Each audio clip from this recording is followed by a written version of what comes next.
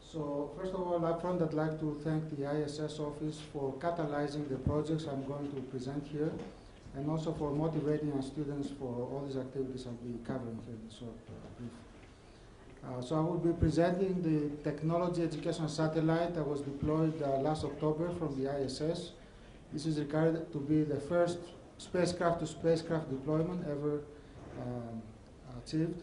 And then I will try to create an overview, a picture of the roadmap or wh- where we, headed and what we're trying to do here. So this work is in collaboration with NASA Ames, Marcus Murbach, uh, Andres Mar- Martinez in the microsatellite division, uh, strongly supported by the Office of the Chief Technologist, uh, John Hines, who's currently retired. Um, so TechEdSat uh, was a communication microsatellite, a 1U CubeSat, that essentially uh, demonstrated uh, uh, communication with the Iridium constellation, and that was deployed in October 2012. We were featured in the Aviation Week, and there was a lot of publicity given to this mission. We had a full mission success. The uh, CubeSat orbited for 284 days before deorbiting, and you actually see here on the on the middle picture here. Uh, uh, TechEdSat a picture taken from within the ISS from the cupola, um, and that's really a historic uh, picture because you see also the balance of the space station. So, following the TechEdSat, uh, with our focus on communications, we uh, contributed to the PhoneSat in a series of projects that we call SPQR 1D. In uh, April uh, 2013 here, uh, to again demonstrate the communication capability with live streaming through the Iridium constellation directly into your laptop uh, via internet, and th- this was a very successful mission. But uh, let me kind of give you the broad, broader picture. So in order for me to be able to do that, I have to explain where I'm coming from. Okay? We have one person in the audience here, Tibor, that I think understands my background. I'm a hypersonics guy. I used to work at NASA Ames for about 20 years in aerothermodynamics focus on missions to Mars coming out of Stanford. That was my thesis. You know. So there's an ulterior motive to all this exercise. And I think it's going to be apparent in the roadmap that I'm going to present here. So what we call SPQR is a three-stage entry, descent, and landing system. It's a uh, payload recovery system from the International uh, Space Station. And the first stage is an exobrake system. It's a deployable system that decelerates at very, very high altitudes with a very small ballistic coefficient, and then we go into a TDRV phase that takes us from 90 kilometers down, and a final landing phase where we do a controlled uh, paraglide uh, uh, maneuver. So this uh, architecture that I'm presenting here was actually constructed, built by our students in collaboration with Mark Murbach at NASA Ames, and that was delivered two weeks ago to uh, JAXA, and will be again deployed from the ISS uh, uh, shortly. So what we have achieved so far, we have uh, delivered a system that provides small payload return capability from the ISS and allow us to bring samples, biological samples, in a thermally controlled environment uh, in a 3U container that uh, holds about 4.6 uh, uh, kilograms and using the existing infrastructure of the JEM module and the uh, Cyclops um, installation. Very low cost uh, um, uh, uh, mission, which leads to simplified operations of high importance. And of course, going back to my earlier comment, the ulterior motive here is an ultimate mission to Mars. So if you look at the time, uh, the timeline here is that we're deploying 2014, 2015, there's a Mars opportunity. We'll be proposing for a mission to Mars, for a Mars network mission, and this is a this is a natural step in that direction. It's what we call three steps to, Mar- to Mars. Okay, so we've achieved so far a SPQR1, stage 1 demonstration 3U uh, microsatellite with the exobrake system for deceleration in the upper atmosphere. That's the first subscale exobrake ever demonstrated. Also, uh, we'll be benchmarking the GNC, precision landing, telemetry, uh, CONOPS, all these within a budget of a little more than two and a half million. So the second SPQR it would be a little more, uh, it would be a step up. That would be a full-scale exo-brake system. Again, testing the whole interface with the ISS and the full uh, vehicle architecture with a cost of about 3.7 million. And further enhancements that lead to an overall program from FY 13 to 15 of approximately 4.5 million.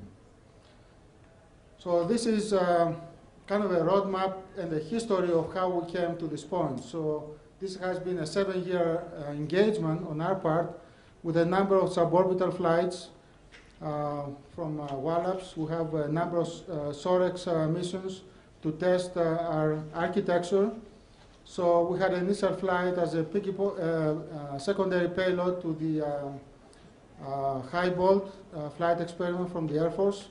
And of course, as some of you may know, that experiment was actually aborted because of range safety. However, our system seemed to have worked perfectly. So after 2007, the center director essentially gave us a dedicated flight. We were able to fly our uh, system and demonstrate its uh, capabilities. And I'm going to discuss that here in a moment. So following that, in collaboration with uh, Idaho State University of Idaho, uh, Dave Atkinson, we've done a number of uh, balloon tests, again to test our avionics and our communications uh, subsystems and the parafoil precision landing capabilities. Very successful contribution to the PhoneSat and TechEdSat, and pretty much ready for the uh, payload retrieval mission from the ISS that's uh, coming up. Okay, so the SPQR uh, does about uh, 20 orbits and uh, then starts to deorbit with the exo-brake system, and then we end up in an entry corridor which is within 8 to 150 kilometers. So with the GPS tracking system, essentially we track the energy, uh, the entry state vector, and then we deploy our exo-brake uh, system. So that allow us essentially to self-orient the reentry capsule and uh, perform the, uh, the rest of the mission here. So some of the details of these activities that require a little more explanation. So the next two slides essentially speak to the trade-offs and the advantages of a system like this versus other things that have been proposed and have been uh, flown.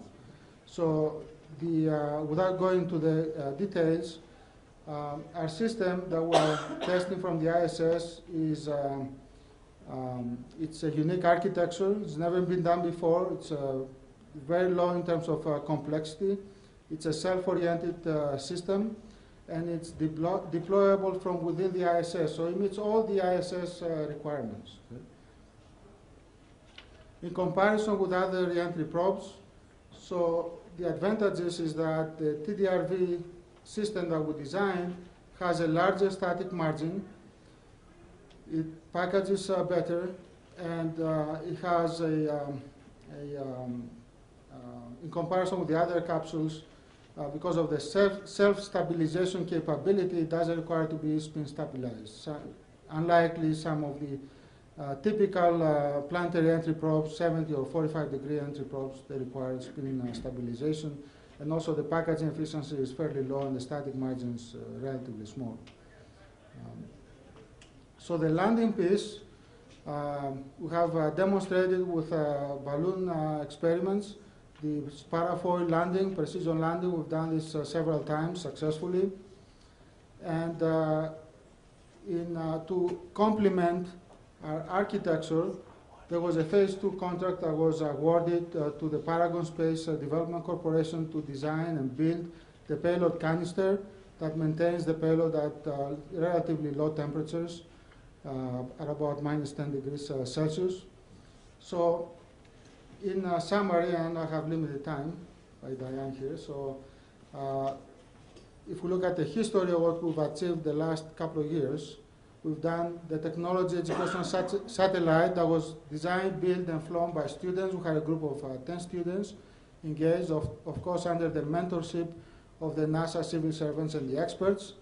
All the students had fantastic careers. They were all hired, essentially, and they had become experts in their um, in the areas of um, that uh, they were engaged.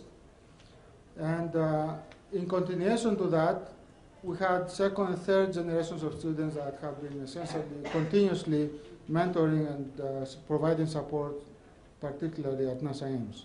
So, TechEdsat, uh, SPQR, and the, uh, uh, the upcoming uh, flight in 2014 essentially support this architecture for on-demand small payload return capability from the International Space Station. So that uh, enables us to bring uh, biological samples in a thermally controlled canister environment that keeps the temperature within minus 4 to minus 10 degrees Celsius. It's a 3U compatible system canister that holds 4.6 uh, uh, kilograms. It uses the existing infrastructure of the International Space Station. It's very low cost and it leads to simplified uh, operations. So we're all very excited, and uh, again, I'd like to thank uh, the International Space Station office for uh, catalyzing all these projects and our students, and it has, has, it has really been a, uh tremendous experience for all of us. Thank you. Thank you, Dr. Papa- Papadopoulos. We'll take some questions at the end of the session.